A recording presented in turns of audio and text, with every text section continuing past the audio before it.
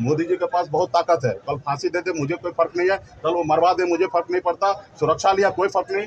कि ये प्रेजेंट का जो सरकार है, वो अगर वो जनता के हित में काम किया होगा, गरीब किसान के लिए काम हुआ रहेगा, मजदूर के लिए काम हुआ रहेगा तो निश्चित तौर पे मोदी जी के बारे में सोचना चाहिए। वरना मोदी जी के बारे में बिल्कुल ही नहीं सोचना चाहिए कि आपने दिसंबर महीना में आपने हमसे मिलके कहा कि हम आरक्षण लागू करते हैं और जब आरक्षण लागू करने की बात हुआ, सब चीज़ हो गया, आपने क्या किया? नीतीश कुमार जी को पलटा लिया और मल्ला के बेटा को आपने छोड़ दिया। संविधान अगर हमको नहीं मिलता तो हमको लोग नीचे में बैठने का इजाज़त नहीं देता। आज लालू जी के विचारधारा पे हम लोग चलने वाले हैं। ज़मीन पर से उठकर कुर्सी पर बैठने का ताकत रखते हैं कि मजबूती से जब तक हम लोग जो एजेंडा पे जो अपने अधिकार के लिए लड़ाई सजिद नहीं कर लेंगे तब तक हम चैन से नहीं बैठेंगे मजबूती से लड़ेंगे। पनोरमा ग्रुप जो सोचता है वो करता है।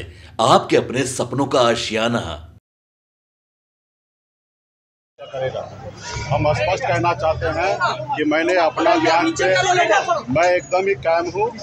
हाँ मेरे बयान से अगर किसी को आहत हुआ होगा क्योंकि मेरा भी प्रधानमंत्री है, मैं अपने प्रधानमंत्री का सम्मान करता हूँ। मेरे बात से अगर किसी को आहत हुआ होगा तो मैं खेत प्रकट करता हूँ।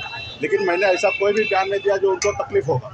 मैंने ये कहा कि जब हमारे वीपीसी की सरकार थी, जो मंडल आयोग जो लागू, कमीशन लागू हुआ था, जो उसमें खास करके पिछड़ा और पिछड़ा ओबीसी का आरक्षण लागू हुआ, जिसमें अमित शाह जी ने गृह मंत्री जी ने आए और झूठ बोल रहे हैं कि कांग्रेस पार्टी ने सारे अटका कर रखा है। मेरा कहना ये था कि भारतीय जनता पार्टी या गृह मंत्री जी किसी के हाथ में मेहंदी नहीं लगा था। आपके पास भी कुर्सी था और तीस बत्तीस सालों में ज़्यादा से ज़्यादा समय आपके पास सोलह सत छब्बीस, सत्ताईस सत्रह, अठारह साल आपके पास पावर था। दस साल मोदी जी का, इससे पहले अटल बिहारी वाजपेयी जी का सरकार था। टोटल सत्रह, अठारह साल आपके पास सरकार था। आपने क्यों नहीं मंडल कमीशन का जहाँ चालीस पॉइंट जो था सिफारिश चालीस के चालीस पॉइंट क्यों नहीं आपने लागू किया? और दो पॉइंट अगर लागू हुआ, या सत्ताईस परसेंट आरक्षण हो, या पढ़ाई में, एजुकेशन में सत्ताईस परसेंट आरक्षण 2007 में, कांग्रेस पार्टी ने ही किया है। 93 में भी जो ओबीसी का आरक्षण सत्ताईस परसेंट कांग्रेस पार्टी ने किया। आपने वीपी सिंह का सरकार आपने गिरा दिया था ग्यारह महीने में। मंडल मंडल बनाम कमंडल आपने निकाला था। आप तो हमेशा विरोध किए हैं, चाहे वो कर्पूरी ठाकुर जी का हो या मंडल आयोग का हो सिफारिश हमेशा आपने विरोध किया और आपके पास भी लंबा समय था। अगर आप चाहते थे ओबीसी, एससी, एसटी का अगर कल्याण करने का तो आपको काम करना चाहिए था। उसमें भी मछुआरा का भी सिफारिश है सैंतीस नंबर पे। चालीस पॉइंट में से सैंतीसवा पॉइंट पे मछुआरा का भी आरक्षण के लिए था। कि एस सी में मछुआरा को शामिल किया जाए। तो ये आपने नहीं किया। बिहार के लोगों को झूठ बोल रहे हैं।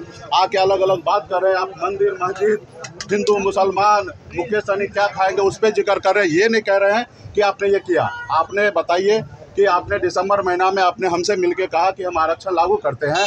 और जब आरक्षण लागू करने की बात हुआ, सब चीज़ हो गया, आपने क्या किया? नीतीश कुमार जी को पलटा लिया और मल्ला के बेटा को आपने छोड़ दिया। तो हम अपने अधिकार के लिए लड़ाई लड़ रहे हैं। हम क्या गुनाह कर रहे हैं? हम अपने अधिकार के लिए लड़ाई लड़ रहे हैं। आपने हमारे विधायक को खरीद लिया, हमको सरकार से बाहर कर दिया, जो सरकार हमने बनाया था। आप बताइए कि हम आपका गुलाम क्यों बन जाए?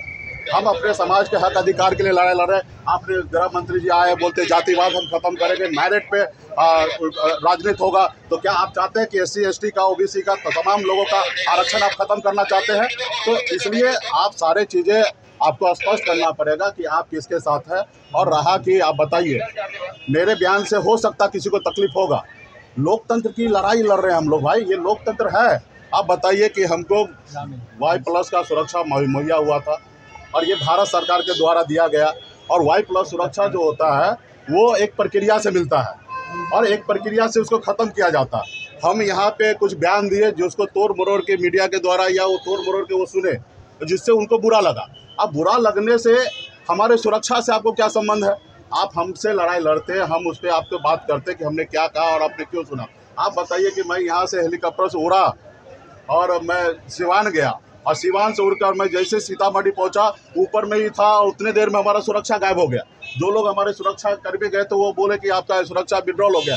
और जबकि अभी तक ऑथराइज कोई भी लेटर हमारे पास नहीं आया, सिर्फ़ एक बयान को लेकर आप सुरक्षा वापस कर ले रहे हैं। यानी कि आप चाहते हैं कि मुकेश सहनी को मरवा दे तो आप दे दीजिए फांसी का सजा मुझे। अगर मैं अपने जात के हक, अधिकार के लिए, मछुआरा के लिए, मल्ला के लिए अगर लड़ाई, लड़ना मेरा अगर गुनाह है तो मैं कहता हूँ, माननीय प्रधानमंत्री जी, राष्ट्रपति महोदय, सब आप ही का है।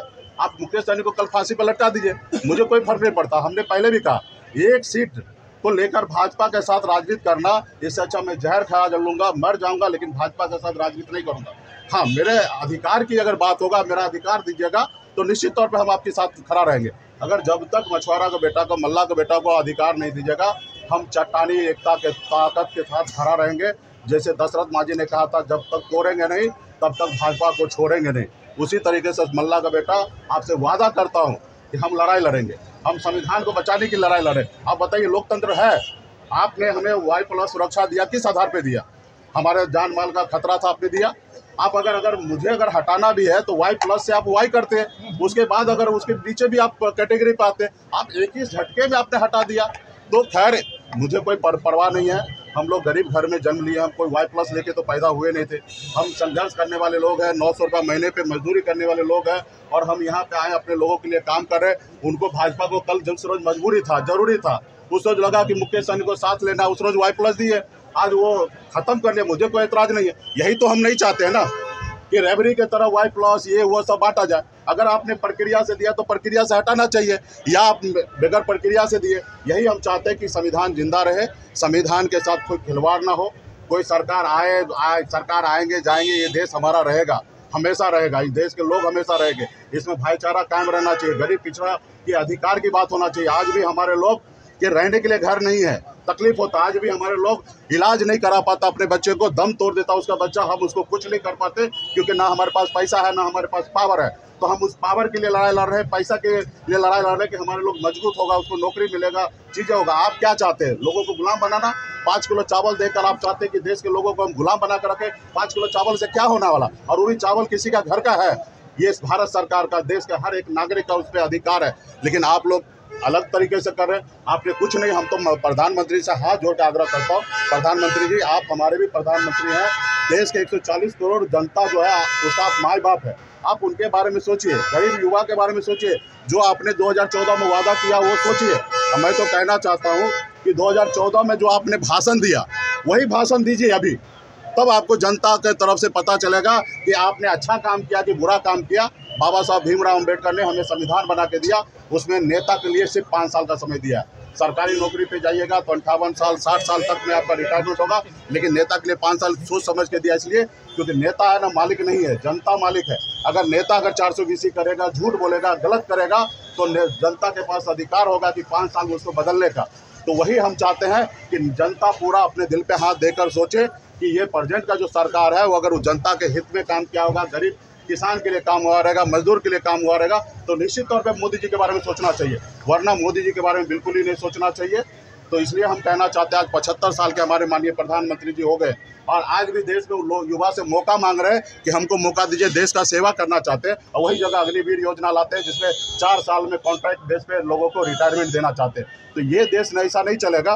देश पहले हमारे पूर्वज ने बहुत मेहनत करके बलिदान दे के अंग्रेज़ से पौने दो सौ साल लड़ाई लड़ा, उसके बाद हमारा देश आज़ाद हुआ और उसके बाद हम सर उठा के जीरा आज संविधान ही जो है, दिया उसी के दम पे आज मुकेश सनी सीना तान करके आपके सामने अपनी बात रख रहा अगर संविधान अगर हमको नहीं मिलता तो हमको लोग नीचे में बैठने का इजाज़त नहीं देता। आज लालू जी के विचारधारा पे हम लोग चलने वाले हैं। ज़मीन पर से उठकर कुर्सी पे बैठने का ताकत रखते हैं। हमारा संविधान हमारा जिंदाबाद रहेगा और हमेशा जिंदाबाद रहेंगे। उसके लिए हक अधिकार की लड़ाई ने जिनको बुरा लगे उसने अभी उन्होंने तो सुरक्षा ले लिया।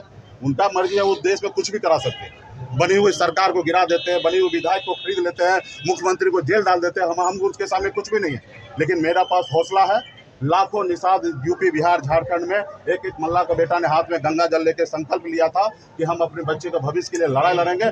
हमने भी संकल्प लिया है। और मजबूती से हम गंगा माता का सौगंध खाते हैं कि मजबूती से जब तक हम लोग जो एजेंडा पे जो अपने अधिकार के लिए लड़ाई सजित नहीं कर लेंगे तब तक हम चैन से नहीं बैठेंगे मजबूती से लड़ेंगे।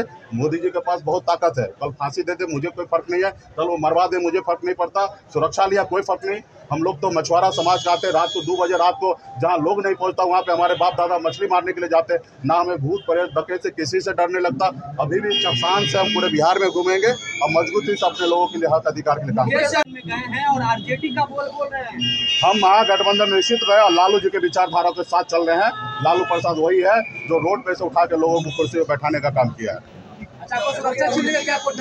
नहीं मुझे कोई डर नहीं है उनका मर्ज़ी है। वही तो हम लोग चाहते हैं कि लोकतंत्र में ऐसा नहीं होना चाहिए।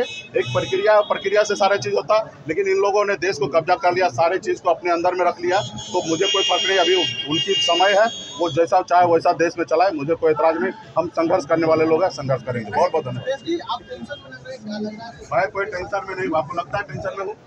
हाँ मैंने खेत प्रकट किया कि देखिए, भारत सर, भारत के प्रधानमंत्री का एक गरिमा है, वो हमारे भी प्रधानमंत्री हैं। और हम चाहते नहीं कि उस पर ज़्यादा विवाद हो।